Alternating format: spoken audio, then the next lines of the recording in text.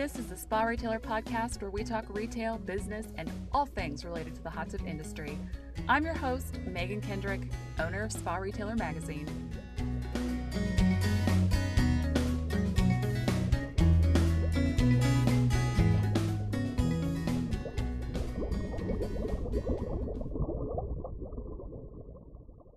Today on the Spa Retailer podcast, I have Jay Broyer and Brandon Jones. They are the owners of St. Cyr's Pool and Spa, and they've got their original location in Middleton, Massachusetts, but they've also made a couple of acquisitions. They bought Budget Pools, which is nearby the St. Cyr's location, and then they just finished acquiring Swimming Pool Center up in New Hampshire. So thanks for coming on, guys.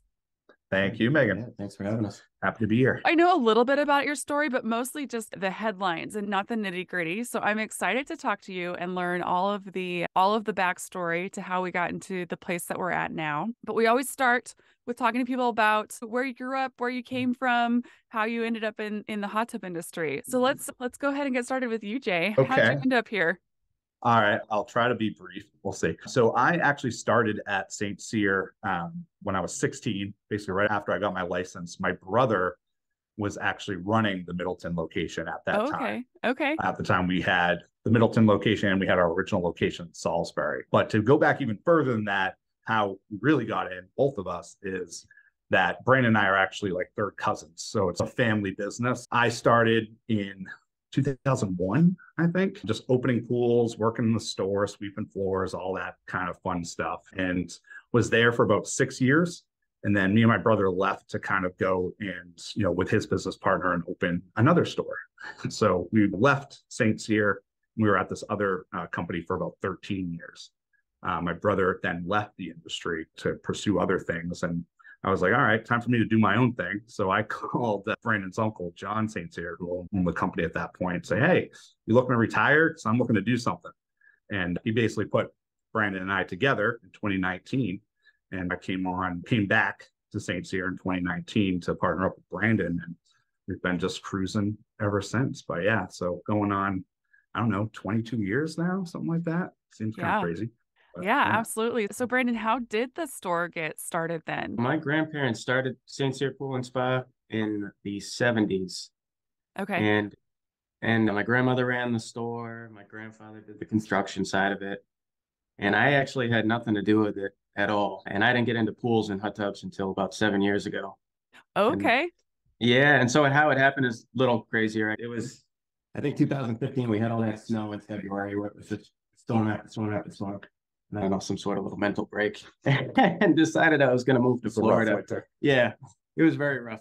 So I decided I was going to move to Florida, and there were a lot of pool companies down there. And with my family's pool background, I felt like I could fall back on if I had any issues. So I picked a spot in Florida and found a company and got on a plane and moved.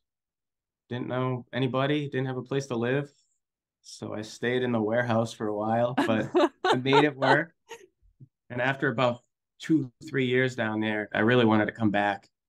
And and that's when I got in touch with my Uncle John and same time that, that Jay was getting in touch with him. And, and so it was like it was almost to be yeah. really. Those uh Florida summers not quite all they not quite all they cracked up to be ready to get out of the heat. I loved it actually. I love the heat. The summers were oppressive, but it didn't bother me. yeah. It was really I had two girls and my wife and two girls were staying up here while I was getting things going down there, which made it even harder. Oh yeah. But once it came time to to move it all south, they they just couldn't do it. They got their friends in school and everything, and it just wasn't going to work. Yeah. I Yeah, and- that's a big ask for sure. it is. Um, it was a huge ask, and for them to say yes in the beginning was a lot. So Yeah, did the no- com- so did the company get started as a pool builder then? Yes, yeah, it was pool construction, and then the store opened shortly after. Yep, Okay. And you're I think it still seventy-two to seventy-five ish, somewhere in that realm. okay. Yep. Do you know when hot tubs entered the mix? Ooh, I know so that's, that's hard if you weren't the ones doing it, right? yes, they purchased this the Middleton location from Bicknell Huston, which is the precursor to SCP back in the early 90s. Okay. And so it was a retail store even back then, going back who knows how long, and the distributor. And at that time, they were selling Baja spas. oh yeah, like- Baja out of Tucson, no longer in business. No longer. And I remember my brother telling me stories about how they had to plumb them before they went out and all that stuff. So they were uh, they were doing spas back then in the early 90s and then they picked up Dimension 1 in 1998, I want to say. Okay. So it's an unusual store name, Mhm. really. The industry, uh, there's a lot of aqua, whatever, Right. kind of all, or spa, it all runs together. But Yeah. St. Cyr's is one that has stuck out to me. And so that's how I remember you guys as a D1 dealer, like when I started in the industry in 2008. Yeah, it's you know, St. Cyr, just the family name. Something that I think is really interesting. And one of the reasons why I wanted to talk to you guys is I think so. uh, Something that we've talked a lot about in the magazine over the last couple of years, and I think the industry has been talking about in general, is sort of what that next generation of hot tub retail looks like. And you're starting to see private equity groups come in. You're starting to see like the bigger, like Leslie's buyout independent hot tub retailers. But the other trend that we're starting to see in that arena is you're starting to see kind of growth within independent retailers where people are buying each other and growing and growing. And so it's, which is really exciting. And I love to see that independent family businesses start to expand out and grow and get bigger. That is one of the reasons why I wanted to talk to you guys because that it's just such an interesting thing we're seeing in our industry. Um, but what is it about you two that made you want to go out and acquire at this point two other businesses? Like the whole budget pools acquisition is funny because we joked about it when we first started. It's like, yeah, well, when we buy budget pools, you know, because they're such a big retailer, uh, uh, Goliath in our region. Really? And it's yeah, and it's just I think the reason why you're seeing the trend is just timing, right? We're in the right place at the right time. There's just so many of these second, third generation companies and no succession there. What are they going to do? And especially in our region in the Northeast, it's seasonal. So it's really tough for private equity or investors to come into the space outside of the industry.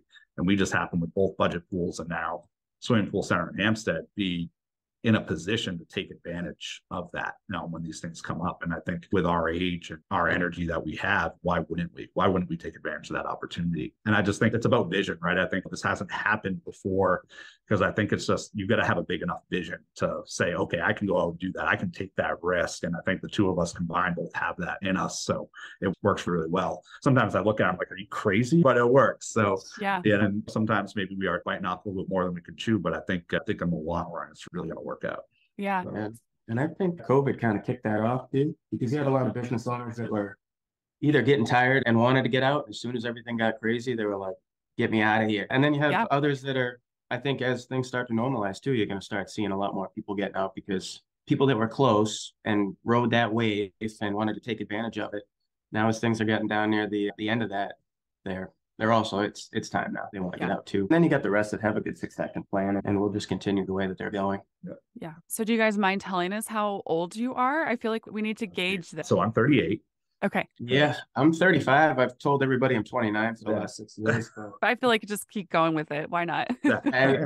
My kids, it's funny. It's like a joke. They get me a happy 29th again birthday card each year. Perfect.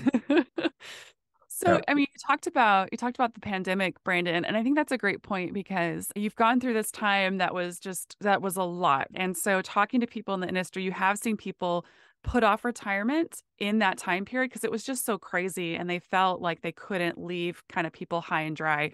But yeah, now mm-hmm. that things are starting to slow down, I wonder if you're starting to see those people who put off their retirement being like, okay, now's the time, or people who are like, you know what, things are going to slow down and I don't have it in me after the mm-hmm. craziness of the last three years and the energy to power through what the next phase of this looks like. Yeah, I think you're right there because so I think COVID made it easy for us with all everybody and their brother wanted a pool or spa. So Yeah. it was like Made oh, the sales they- easy. I'm not sure there was the anything sales- else that yeah, was the, easy. the rest of it was yeah. they they had this opportunity for a bit of a windfall, and now it's oh now I have to go back to working at it like like we had to in years past. So I think you're right. I think you'll see just more of it. And it's just, you know, the generation, you know, they talk talk about this not just in the pool industry, but it's a big thing in the trades, HVAC, plumbing, electrical. There's a lot of business owners in blue collar fields that, that just there's no nobody behind them. I think you're gonna see it in, in a lot of industries going forward. I think on the service end too, it was COVID was we able to use it as a scapegoat, even though we had supply issues and all these other issues that were real factors. If something was wrong, everybody was understand just with everything that was going on, could just say that times are tough Yeah. right now. And they would say, okay. Yeah. But- as, mo- as we're getting out of it, I think you're gonna have to be better and all your techs and, and staff are gonna have to be well educated and knowledgeable mm-hmm. and that we can't, they're gonna command a higher customer experience and they should. And you have to be deli- able to deliver it. We have to cross our Ts and dot our Is more now that we're getting out of that craziness. Yeah, yeah, absolutely. Yeah, that's such a great point. Can't really, it's getting to the point where you're, you can't get away with things anymore. You can't blame COVID necessarily anymore, even though there are some still COVID hangover things as with supply chain and labor and all of that. People are probably not quite as understanding as they were back in 2021. Mhm. Yep. Got to raise the game a little bit. Yeah, which is good. And they shouldn't be. What's your vision going forward then? Now that you've got you've got three businesses, are you planning on bringing them all under one umbrella? Are you going to kind of keep them separate? What's the grand vision? Are you going to become the I don't know, the Walmart of or big box store of hot tubs? That's like the daily discussion around here is we just go on under one entity or do this or that. And I think it's twofold with budget pools. They have been in that location with that name since 1965, right? Oh, they're yeah. such a they're like an institution in north of Boston here. So it'd be really tough to go in and change that name. And they're so close. They're in close proximity. So keeping those two separate and having different hot tub lines in each makes sense. But with New Hampshire, it's 45 minutes away. It's a totally different territory. And they do the same type of work that we do with as far as service, retail, hot tubs, pools, and all that. So it really makes sense to, to bring those two together under the same Cyr name. And I think as we grow and venture out, whether it's either opening new stores or more acquisitions, we're going to take more of a unified approach like that. Budget pools was just a special case because of where it's been and its history and how Right. close it is. That makes perfect sense. You see a lot of retailers do that, right? Where they'll have, if they open another location close by, sometimes they've got different brands, different Right. branding, all that Mhm. kind of stuff. And they really just do what they can to capture that entire market. Yeah, absolutely. And I think it would be easier if we put it all under one umbrella in one name. But I know our vision, and I know Brandon, especially with all his crazy oh, ideas, we're gonna try to make this a multi-region endeavor, whether that's just New England or Massachusetts or whatnot. I don't see any signs of slowing down or stopping, which is why people think we're crazy. But, yeah. I think that those first two is just the start of the roadmap. It's it's where we want to, or at least where we want to keep going with that. Whether it is opening new stores or acquiring them, but I Yeah. think that we'll keep that single brand approach going forward. Absolutely. Yeah. Budget was just a one-off, Yeah. special case, like you said. Yeah, that makes And I- sense. And I think, yeah, I mean, just operationally, we know we have to really bring our A game and get things where they need to be before we can grow much further. But doing some really cool stuff on that end to to bring those things together so we can operate in multiple regions efficiently and effectively. So, Yeah. Okay, so we're gonna we're gonna talk about that in a minute. But Okay. but I, first, I'm curious. So you've mentioned this a couple times about Brandon having the crazy ideas. So how Mhm. does your partnership work? Because when you talk to people about getting into business and starting your own business, they're like, "Oh, don't have a partner. It's awful. Don't do that." But so how do you guys manage that? Do you bring different skill sets to the table? Like how do you work through the inevitable, you know, conflict and stress that comes up as trying to run a business as a team? I think it's good because you know, we don't get rattled very easily. I think Brandon more so than me. I thought I was pretty even keel, Ah. but he's just yeah, can't shake this guy. But I think when we first came together in 2019, it made a lot of sense because of his service background and his mechanical inclination, and me more from the retail side and the sales and marketing. It just that naturally worked. He likes getting out in the field and plumbing systems together, or working on hot tubs. It's, yeah, I've done that. I could do that if needed to, but you don't want to hire me to to plumb your pool system. It's not going to look very good. So I think those from a skill set, it complements really well. But I think just personality wise, just being really even keeled and talking things out, we're always communicating. It's just communication is really what it's all about. I think. Yeah. As our partnership, I'm more of the jump in without any sort of plan, which I told you I moved to Florida without any I had Without no a place to live. with my bag on my shoulder. And Jay is very thoughtful and, and thinks out every step, uh, which is good. It's a good balance. And I think that's what the basis of this whole thing is that we do have a good balance between our skill sets. And like you said, he's very retail, sales oriented, and I'm mechanical, service end, which I love. I was just, I was fixing a hot tub before I ran in the room to do this. So it was, I love getting in. I think we have a good balance. I think that's Yeah. what it really is. Yeah, that seems to be the basis, I think, of most successful partnerships that I've seen in the industry is you balance each other out. And then, yes, you have found a way to communicate effectively. It probably helps that your personalities, like you said, are, are not t- super fiery. Yeah, you usually if one of us is getting up in arms about something, it's me, and he's you know talking me off the ledge. So you know it works. Yeah. I like too that um I, you know that balance of jump in without a plan and then I'm gonna maybe overthink everything. Mhm. That's so it's good. You've got Brandon kind of push the envelope and maybe make you a little bit uncomfortable. And then Mhm. you've got Jay to rein things back in and say, okay, but how can we actually do this? Yeah, yeah, and exactly. move forward in a way that makes sense. So yeah, that's it's good to have it's good to have both sides for sure. And then I think on top of that, you got to surround yourself with people around you that can work in that environment because neither one of us are very organized or very action and growth driven. So having organized people around us to help also bring the two of us in is, is much needed. So I I think the whole thing that we're trying to do here is a little uncomfortable. Yeah. Acquiring new businesses or opening new businesses, and you have to get out of your comfort zone to do that. Yeah. I mean, we went from when we acquired St. Cyr in 2019, they had two employees, and now we're closing on 50 employees between all three locations. So having to adapt to that and learn to grow is it's definitely going to put you in some uncomfortable positions, and, and we're learning every day when it comes to that.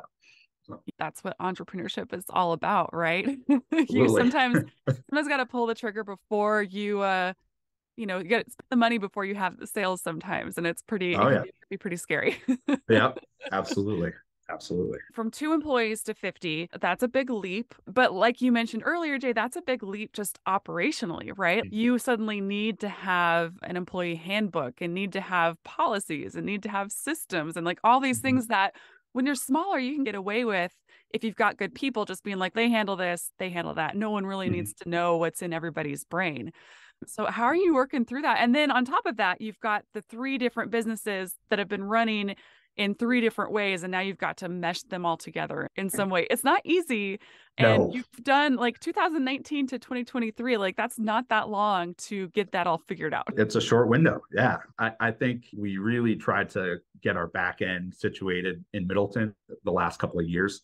What was, we were kind of spoiled by those tools. Um, that team over there has been together for 20 or 30 years, all working together, and yeah. they have their systems, they have it down pat. So that was really, um, it, it, it almost made us think, oh man, did we have a cheat code or something here? What, what happened? Where on the St. Cyr side, it's like I said, we only we started with two employees, so we had to bring people up and we had to do training and we had to really, like you said, a handbook. It's like we never had a handbook, we never had policies. And when you have more employees, you keep asking these questions about PTO, this and health insurance and all that stuff. So we had to go outside and hire consultants and people that knew about this stuff to take it over. So we did that and we invest a lot in technology and automation. We're completely paperless here in Middleton. We run one of the best trade service, service type CRMs out there that really helps bring everything together. And now we can take that and say, okay, this is almost like a prototype. Let's go put this over in Hampstead in New Hampshire. and- and So can work. I can I ask you what are you using for your CRM? Is it a secret or can we know? We're using Service Titan,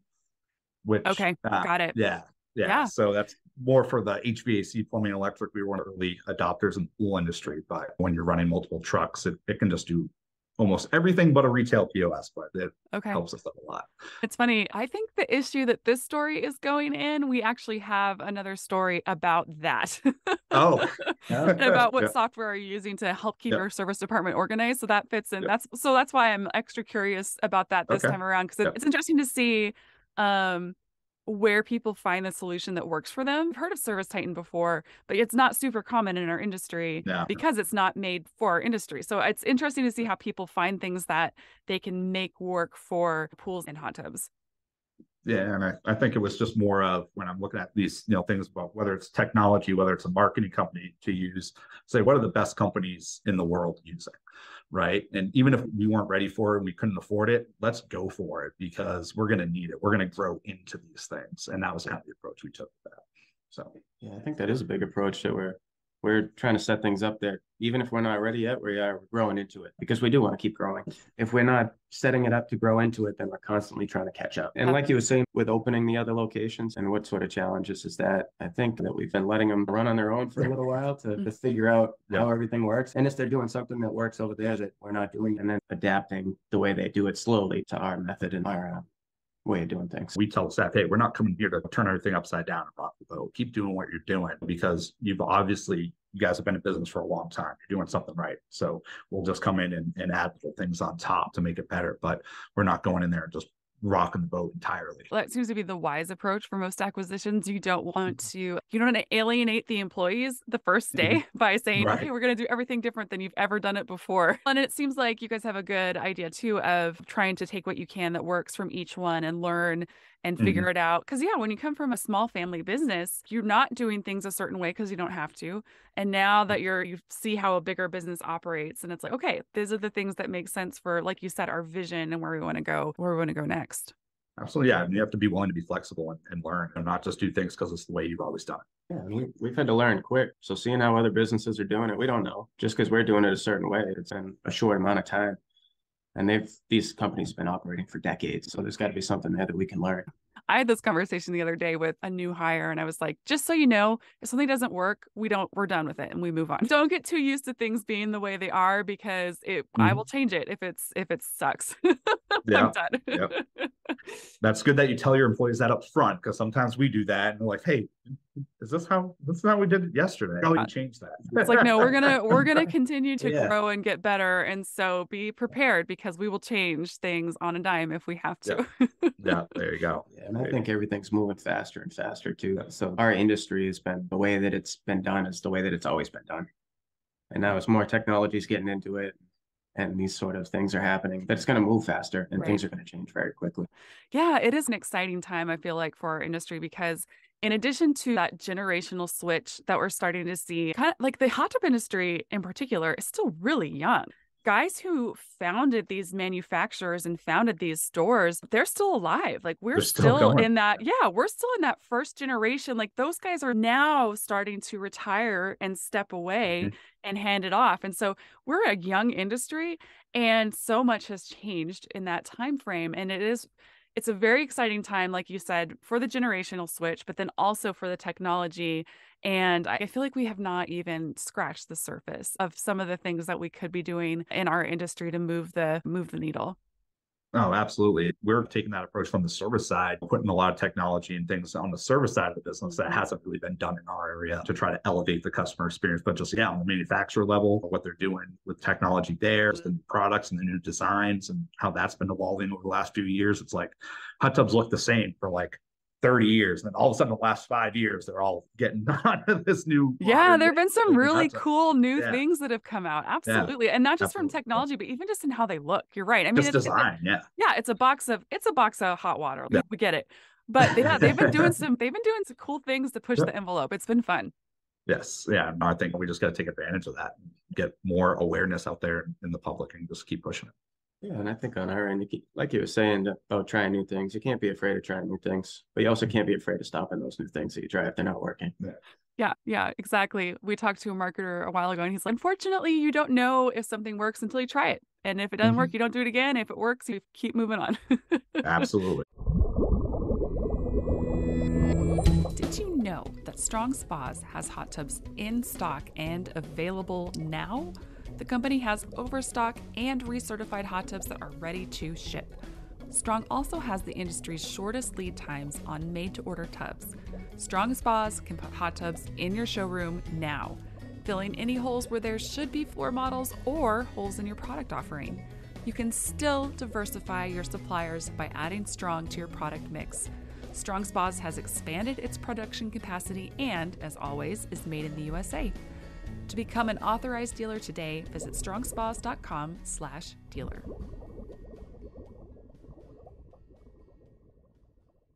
So I'm curious though, since you do swimming pools, you do hot tubs, you've got retail and service, and construction. How does that hierarchy look in your business? Are you is there kind of one department that's sort of like your your big one? How does that breakdown look for you guys? It's changed a lot. I would say when we first started, it was kind of 50 50 as far as hot tubs and service and retail. And as we grew, um, I think what we were doing on the service side, we added Service Titan and we just started elevating that customer experience, and a lot, like Brandon was saying, a lot of people got out during COVID. The service department just skyrocketed, and we were able to grow that exponentially every single year, a lot faster. So now service, I would say, Middleton is the majority there.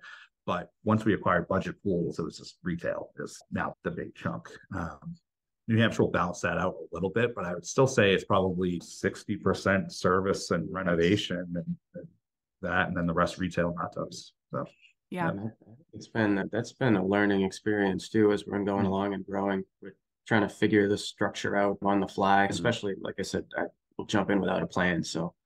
We're acquiring these businesses and not having a structure set up. And now that we're trying to be in multiple places at once, that structure is even more important. but I think services, there's so many moving parts to it that it took a lot of our attention and that attention caused growth in that area. So service really took off and we're now trying to go back to retail and hot tubs and stuff Yeah. because it's not order taking anymore. We have to sell again. Right. So Yeah, I, think that So it's- probably had a little bit to do with the times, right? Like you Yeah. could let the sales part just run on its own for a while there because you you were going to be fine. yeah, exactly. Yeah. and so that kind of makes sense that you would yeah put your concentration and put your energy into what you could actually where you could actually make a meaningful change Exactly. And that's exactly what happened, just like you said. So, you know, Yeah. now we're making that adjustment. That's kind of our big push is to get back to our roots. And, And kind of like you were talking about with how does a partnership work? In the beginning, we had this very black and white split on how we were going to do things. And everything got crazy in COVID. It got very blended. And, Yeah. uh, and so now we're, like you said, this winter, really trying to get back to that sort of black and white split again so that we can each focus on different things. On different things and focus on the things that like you individually enjoy and Right. you you personally feel like as your your better skill set Exactly. absolutely. The things that we can excel at.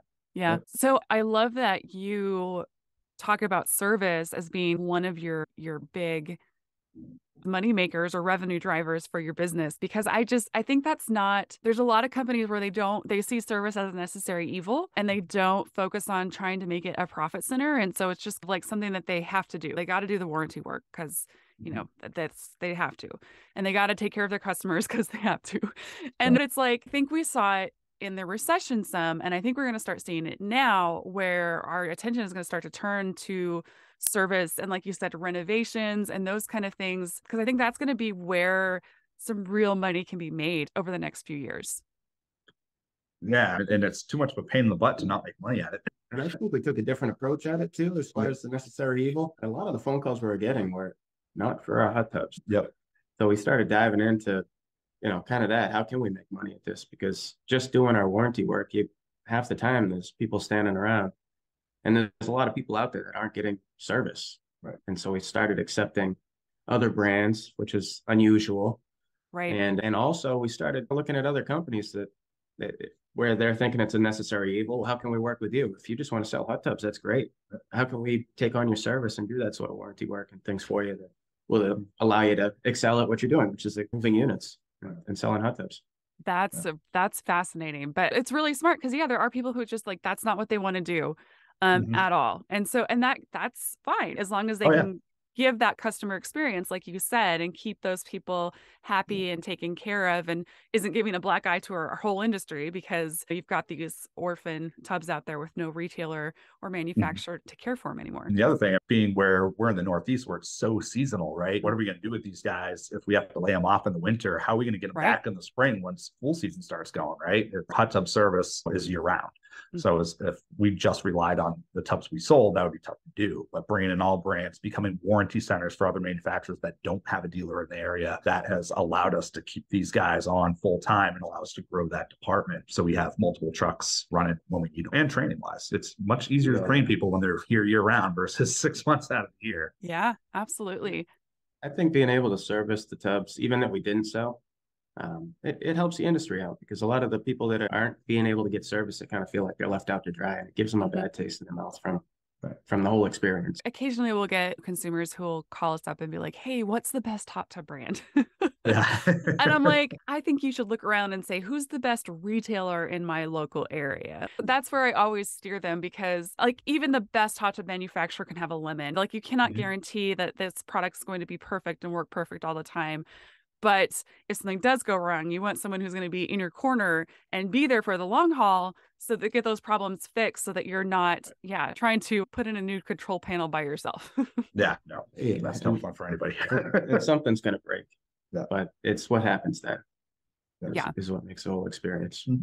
Yeah, Absolutely. exactly. So here you are, the three acquisitions and not not slowing down. Like I it's pretty clear like you will be buying other companies at some point. Hopefully Mhm. not tomorrow because then this podcast will look silly.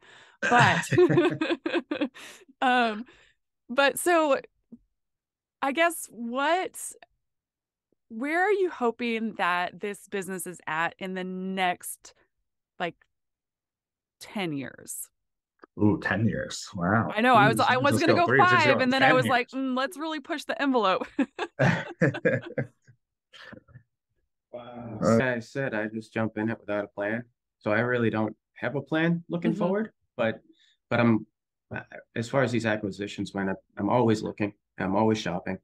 And I'm always looking even for organic growth where we can open new stores. And so as far as 10 years, I've always set my sights on New England, so I didn't really shoot out of there. Mhm. So uh, we've done, if we keep up our pace, that's Yeah. that's what another eight, nine, ten locations yeah. that's a really tough pace to to continue, but you got to shoot high. So You gotta aim high. You Yeah. gotta aim high. I think it's not even as much about how many stores are we gonna have or, or what's our revenue gonna look like. Mhm. So I always focus, I focus a lot on reviews and customer experience. And I want to be the highest reviewed, best um, company in New England, whether that's for pools or spas. So we really put an emphasis on that. So if we can make the St. Cyr name the most recognized and most trusted name in New England when it comes to pools and spas, that would be my goal. I know that's cliche, but that's how you're going to get to where you have multiple stores. You have eight, nine, ten. You can bring in good talent to help you run these stores, which is Exactly. very important. Yeah, is to have that type of vision. And the other thing is, I heard this quote once is if you're going to bring in talent to help you grow at that pace, you have to have a big enough vision to fit everybody else's dreams and vision into, right? Yeah. So that's really important for us. So that's why we have to aim high. We can't take our foot off the gas because we have a lot of people that are now coming along for the ride with us. Yeah. A lot of this growth doesn't mean anything if you're not delivering the best experience that you can. That top notch customer experience is the most important thing. And it's interesting talking to people who have both bought and sold businesses. It's all about just being open to opportunity. You're never really prepared for your next acquisition. You're never really prepared to sell your business. It's never the quote unquote right time, but the right time is when the offer is made, right? And so you just have to be open to accepting that and going for it when it makes sense. Yeah, absolutely. It's not like when in 2019 we got together, we wrote a business plan. So yeah, we're going to acquire three companies in the next four years. It's just Mhm. like I said earlier in the podcast, it's we were the timing where we were and where those companies were. Yeah. It, we just met and it just happened. And like you said, you have to be ready to take advantage of those opportunities because they're not going to come around very often. We Right. might not get the opportunity to acquire another business for four, five, six years. Might not be out there, might not make sense. Which would So- be normal, by the way. Just Correct. FYI, Yeah. like, that would be a normal pace. But yeah, you don't, the time is never right, I think. And, and you have to be an opportunist. how did these two opportunities come along then for you guys? Were they were you looking? Did you reach out to an owner who was like oh yeah that actually does make sense or did you know they were for sale? How did that kind of happen? With budget pool like i said we were talking about it half joking for a couple of years there. Just through my connections locally in the industry knew people who knew the owners and was just getting hearing that they wanted to sell or trying to sell wanted to get out and why don't we just have a conversation? We just called them up and had a meeting and took it from there swimming pool center was a little bit different Yeah, that was a little different. He was looking to get out and uh and so that's how we came across that one. But I think too, as we start to to do these sort of things, these acquisitions, that we're gonna gain more traction. And because a lot of people that are on the fence now have an outlet. yes Now Yes. they have a- didn't know it was an opportunity they, they didn't know it was there before. But a lot of it too, I think, is no matter how big the industry is and our market is, it's very small and it's tight knit. And so you really kind of know what everybody else is doing or what they're looking to do. yeah that's Yeah, true The, the swimming pool center deal was on the market. It was a brokered deal, unlike budget pools, which was just Sure. kind of we knew people who knew people. Yeah. You've seen it from a little bit of both sides then. Our industry is small. Like the rumor mill is crazy. The things I hear on a weekly basis are just kind of insane Yeah. times. Once word gets out that you're sort of in that mode, uh, yeah, I think people probably start coming out of the coming out of the woodwork. Like they did with the with private equity and Leslie's and all that. It was like, "Oh, Yeah. you mean I don't have to like work here till I die?" And I think that transition too is a little daunting. Right. how do I do it? Yes. And having somebody like us that you can guide you through that path, I think really helps. Absolutely. Yeah. yeah, it's really fun to see this happening. And yeah, I'm really excited for you guys and where you're going. Congratulations on three acquisitions. We'll count St. Cyr's in there as well. So yeah, that's it's really great and it's really fun to see in our industry. Right. It's just exciting. Yeah, we're excited about it. Are you guys ready for the Spa Retailer Five? Sure. All right, they're not too not too hard. But so, do you remember your the first hot tub you ever sold? Do you remember any of the details of that? I do. Um, we had just closed the other location in Salisbury, so I was sent down here to Middleton. And I was just left alone in the store. I don't know why. And I a couple came in and I sold them a D1 diplomat. I remember it very distinctly. Oh, all right, Remember, I sold diplomat. eleven thousand eight hundred dollars. I remember that. Yeah, exactly. Because I went out back, my brother's like, "You sold this for what?" I was like, "That's what the thing on the the price sheet said." Were you high or low according to him? I was I was high apparently. It was like yeah, so, Even so better. it was good. Yeah, and, you know, I don't think I sold another hot tub for a- a while after that because everybody realized not to leave me on the floor alone. But Ah, But, That's so yeah. fun. That's how that Yeah. happens a lot of times too. Honestly, is that those first sales I feel are often an accident. yes, it very much was an accident. Mhm. Yeah. So it's kind of funny with me. I've never personally sold a hot tub. Uh, Yeah. I'm, I'm not good at it. Is the short skinny of it. I, I'm more on the technical side, and nobody wants to hear the technical side of the hot tub. They want to hear about how fun it's going to be. And so, Yeah. whenever I come across an opportunity where we would be selling a hot tub, I pass it off to those that can do it. Yeah, that's wise. Yeah. yeah. So, Jay, was St. Cyrs your first like real W two paying job then when you were a kid? Almost. I started at St. Cyr when I was 16, right when I got my license. Once I could drive to the store. But before that, when I was riding my bike everywhere, I was working at a greenhouse, you know, Okay. hunting snapdragons or something like that. For a All couple right. years. All right. But other than that, this has really been my only job. I yeah. had the same job for 22 years. How about you, Brandon? I've had a few jobs. Uh, My first one was washing dishes. Very hot, very little money, but a very good company. And from there, I think I went into moving furniture in high school Oh man. and did that for maybe a decade or so. Yeah. I think my husband delivered furniture for maybe two weeks and then he was like, Yeah. get this. Oh, thank you. yeah. It was tough, but I enjoyed it. You haven't been in business for too long, but looking back, can you think of kind of the worst maybe idea that you've brought to the business, something that you were really excited about and then it just did not go as planned? So would that be saunas or patio furniture? What do you Ooh, those are two those are two good ones. Yeah. It's, it's like you like we were talking about. You got to keep bringing ideas to the table, Yeah. yes. Uh, and you got to keep innovating and trying new things, or you're just not gonna excel. So we, yeah, we've tried new products and did not work. Uh, the people that we sold it to are us. Yeah. They're in our backyards, those sort of things. We've tried things on the service end, different processes. I came up with some convoluted idea of how we are going to do warranties at budget Yeah. that just didn't work. And then the second iteration didn't work. Yeah, yeah. Yeah, for flopping, he doesn't hold it against me that those two decisions, saunas and patio furniture, were my idea. So that's good. Yeah. But I mean that's all. that's the thing. Patio furniture is tough. Like that's a that's a hard category. Um Yeah. but like you know, you see lots of hot tub retailers who also sell saunas. And so, but you Yeah. know, I feel like you never until you try it in your in your market. Right, right, absolutely. Yeah, Yeah. Don't know until you try. Yeah. But it didn't work, so we cut it loose. Just Yeah. kind of what you were saying.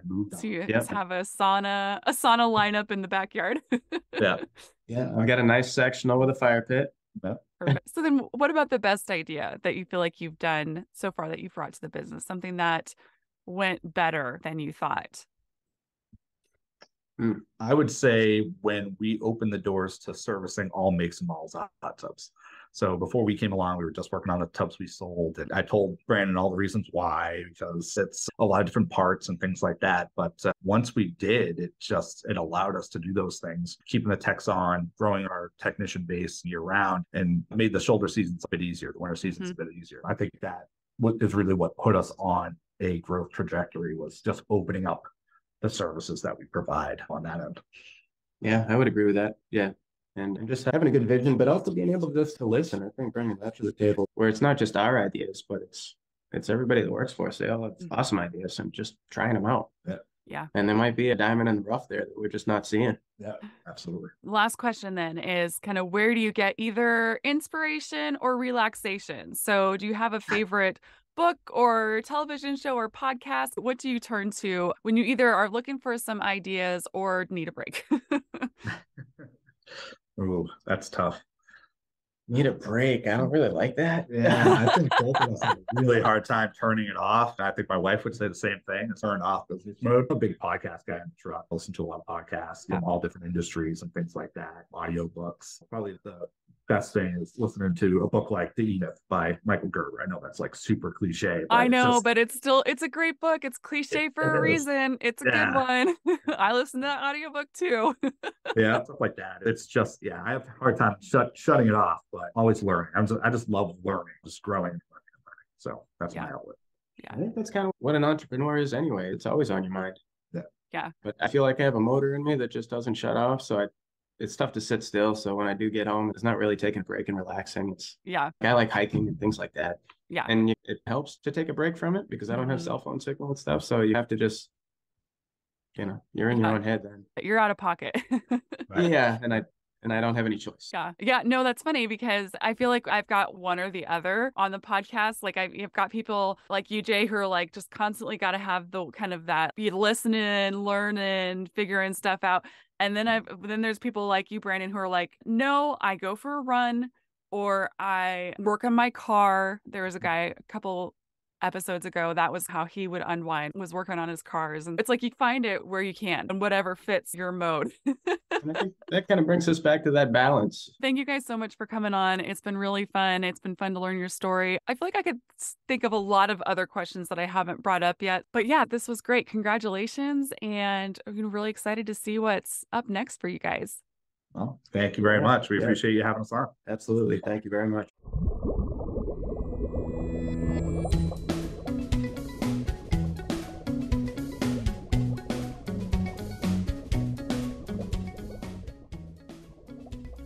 Spa Retailer Podcast is a production of Spa Retailer Magazine.